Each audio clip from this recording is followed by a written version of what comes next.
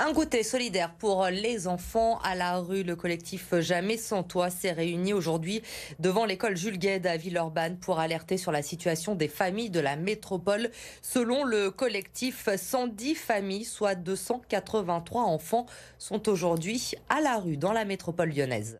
C'est des enfants qui depuis plusieurs mois sont sans logement et euh, on alerte euh, depuis 4-5 euh, mois les pouvoirs publics compétents et euh, on n'a pas de, réponse, rien n'avance, rien ne bouge. Donc on s'est dit que voilà, en organisant un goûter solidaire, ça allait peut-être euh, attirer un peu plus euh, l'attention sur la situation de ces enfants-là.